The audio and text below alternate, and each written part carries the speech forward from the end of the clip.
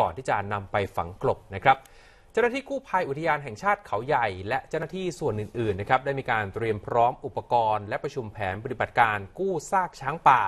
โดยในช่วงเช้านี้นะครับพบซากช้างเพิ่มอีก 3 ตัว ใกล้กับจุดที่พบซากช้าง 2 ตัวแรก ซึ่งจากการที่กระแสน้ำมีปริมาณเพิ่มขึ้น จึงช่วยผลักดันให้ซากช้างทั้ง 3 ตัว ที่ติดอยู่ตามโขดหิน ไหลลงมาที่จุดด้านล่างนะครับทำให้ง่ายต่อการทำงานของเจ้าหน้าที่ แต่ก็ยังไม่สามารถคาดการได้ว่าซากช้างติดค้างอยู่ณบริเวณไหนจะต้องใช้โดรนเนี่ยบินขึ้นสำรวจอีกครั้ง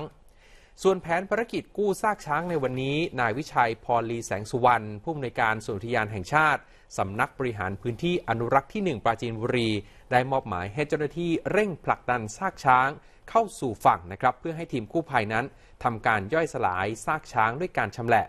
ส่วนซากช้าง 2 ตัวที่พบก่อนหน้านี้ ได้ทำการชำแหละแล้ว 1 ตัว โดยมีการตัดชิ้นส่วนของช้างเป็นชิ้นเล็ก ๆนำใส่บอดี้แพ็คขนาดใหญ่นะครับ ก่อนพักไว้ตรงจุดตาข่ายที่ 2 ซึ่งได้ติดตั้งซิปไลน์ไว้สำหรับขนส่งทางเชือกด้วยการชักรอก เพื่อป้องกันการกระแทกกับโขดหิน